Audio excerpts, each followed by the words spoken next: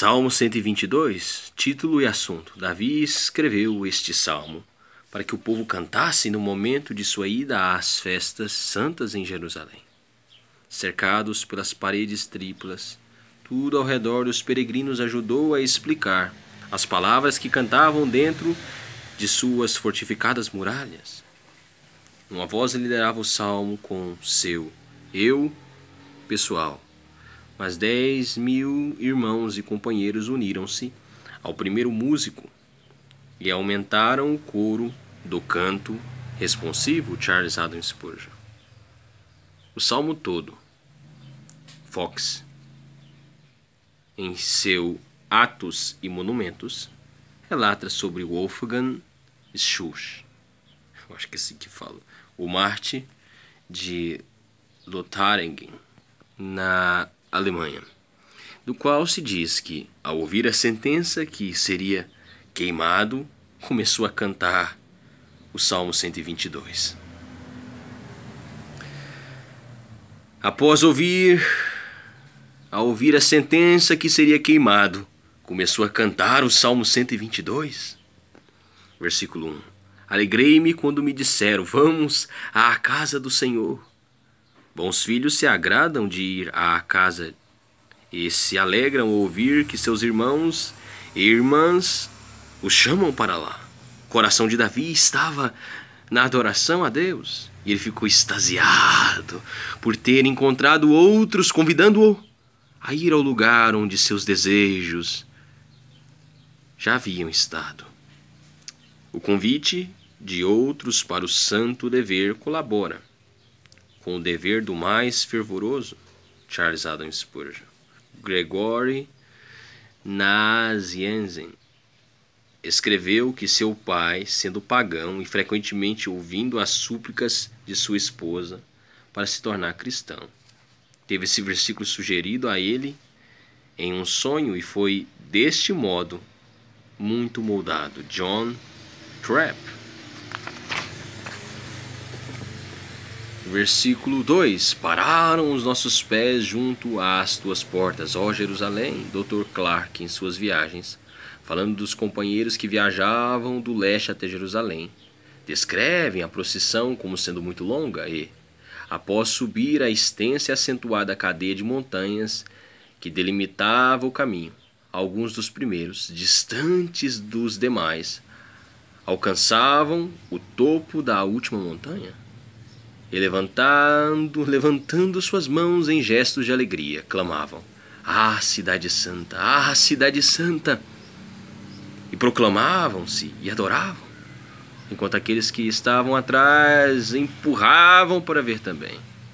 Então o cristão moribundo, quando chega ao topo final da vida, estende sua visão para vislumbrar a cidade celestial.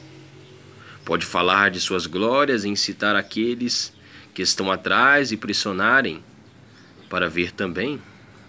Edward Payson, ó oh, Jerusalém. O sol da justiça tem gradualmente se aproximado cada vez mais, aparentando ser maior e mais reluzente conforme se aproxima.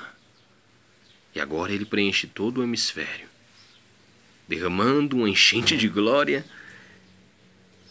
em que eu pareço flutuar, como um inseto nos raios do sol exultando, contudo quase tremendo, enquanto olho para este brilho excessivo e questiono-me com fascinação inefável.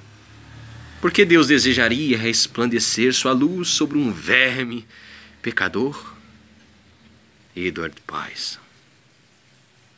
Versículo 3: Jerusalém, que estás construída como cidade compacta. Não há alegria em ir a uma igreja que é dilacerada por dissensão interior? O contentamento de homens santos é despertado pela escolha do amor, da unidade de vida? Seria sua tristeza se vissem a igreja como uma casa dividida contra si mesma.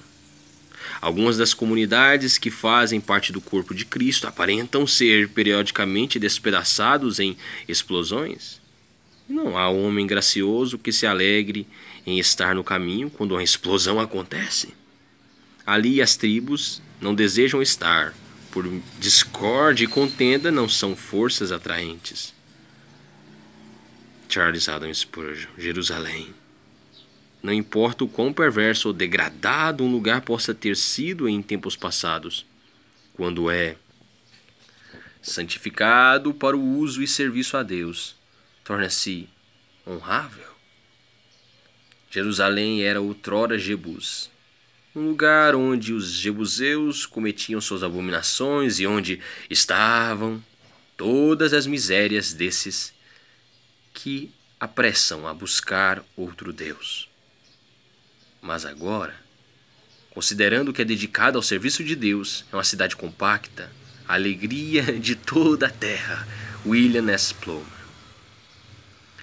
Versículo 6: Orai pela paz de Jerusalém. Quando os metodistas wesleyanos abriram a capela de Pineswick, muito próxima ao local de reuniões, o formidável Cornelius Winter orou três vezes publicamente no Shabat anterior para que tivesse encorajamento e sucesso.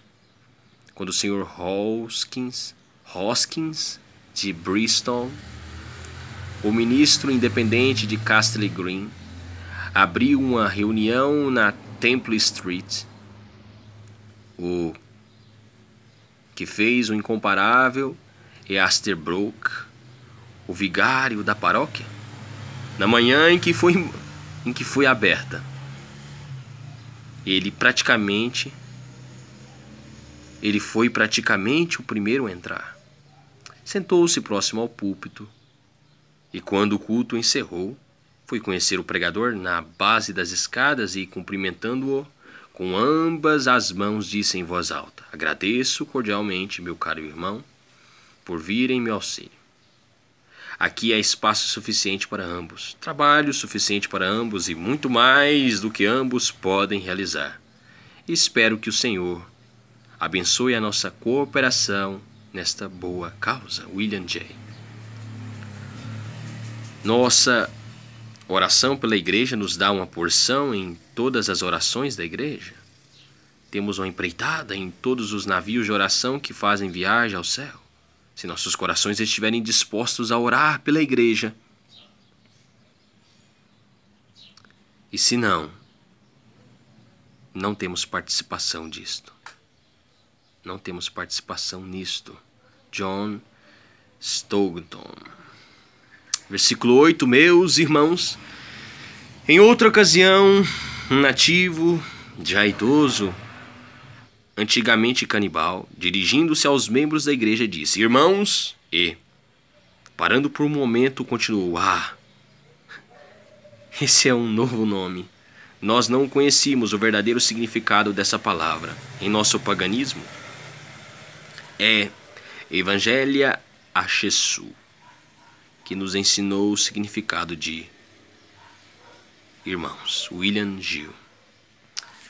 Versículo 9 por amor da casa do Senhor.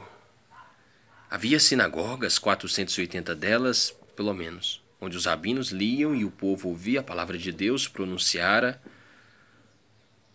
no passado aos pais pelos profetas, que Deus pronunciara no passado aos pais pelo profeta, pelos profetas.